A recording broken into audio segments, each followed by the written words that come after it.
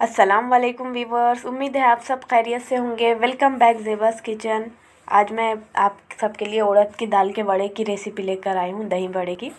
ये डेढ़ कप उड़द की दाल भिगा कर रखी थी मैंने तीन चार घंटे के लिए। इसका पानी निकाल लिया है मैंने धोकर।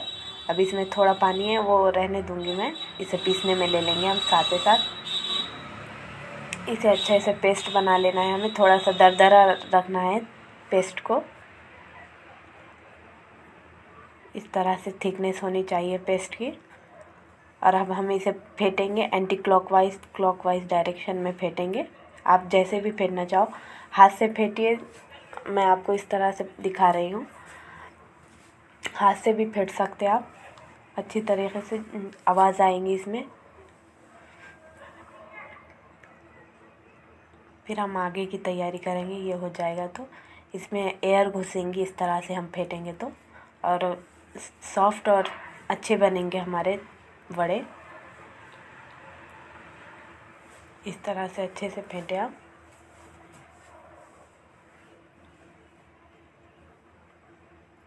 अगर आपने मेरे चैनल को अभी तक सब्सक्राइब नहीं किया है तो सब्सक्राइब कीजिए, लाइक कीजिए, शेयर कीजिए ज़्यादा से ज़्यादा और बेल आइकन को दबाना ना भूलिए, ताकि मेरे आने वाले वीडियोस की नोटिफिकेशन आपको मिले।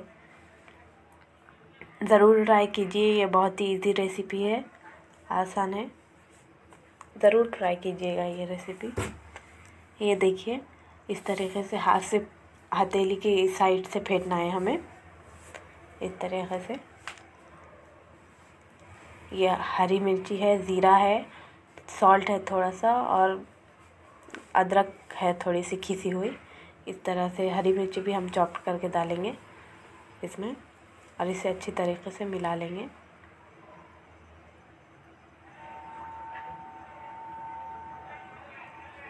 इसी तरीके से मिला लेंगे हम चमचे की मदद से या हाथ की मदद से।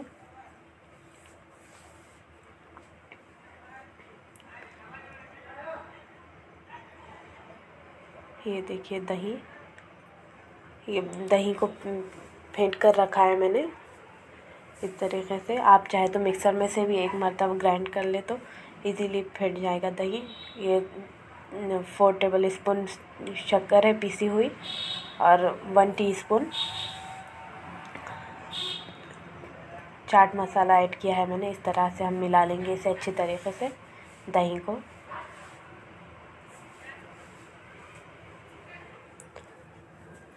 ये देखिए, ऑयल गरम के लिए रखा है, अब हम फ्राई करेंगे से इस तरह से।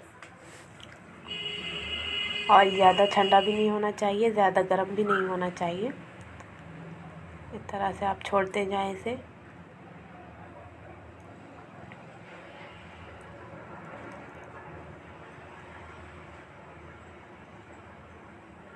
फुल मीडियम फ्लेम करते रहेंगे हम, बीच बीच में। थोड़े टाइम के लिए स्लो करेंगे, बाद में फुल कर देंगे हम फ्लेम को।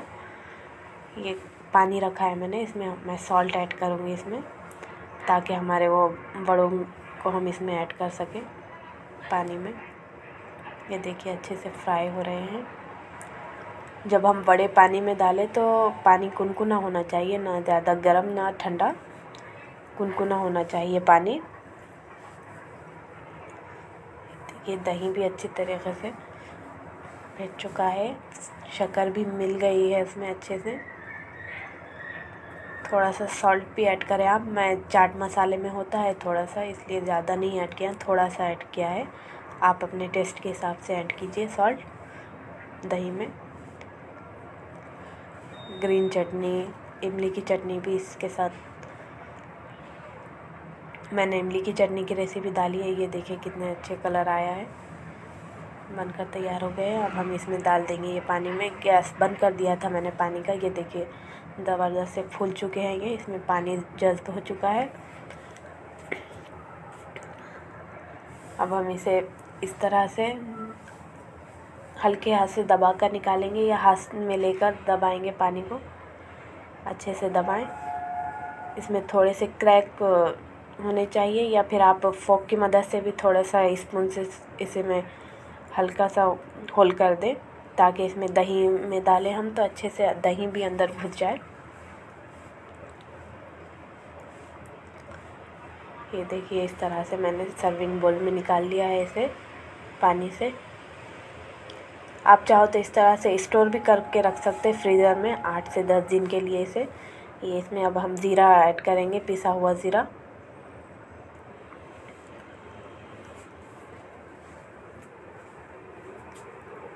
इसकी जो इमली की चटनी होती है, उसमें भी थोड़ा सा ज़ीरा ऐड करें। आप टेस्ट बहुत अच्छा आता है ज़ीरे से। अब हम इसमें दही ऐड करेंगे। इस तरह से ये भी ज़ीरा ही ऐड कर रही हूँ मैं। हम इसमें रेड चिल्ली पाउडर भी डालेंगे। ये इमली की चटनी है। आप हरी चटनी भी डाल सकते हैं इसमें, पुदीना की चटनी। मैं ये नहीं ऐड करूँगी। पुदीने की चटनी। ये रेड चिल्ली पाउडर ऐड किया है मैंने थोड़ा सा हरा धनिया। आप भी ज़रूर ट्राई कीजिए, बहुत ही अच्छे बनते हैं। लाइक कीजिए शेयर कीजिए कमेंट कीजिए। थैंक यू फॉर वॉचिंग अल्लाह हाफिज़।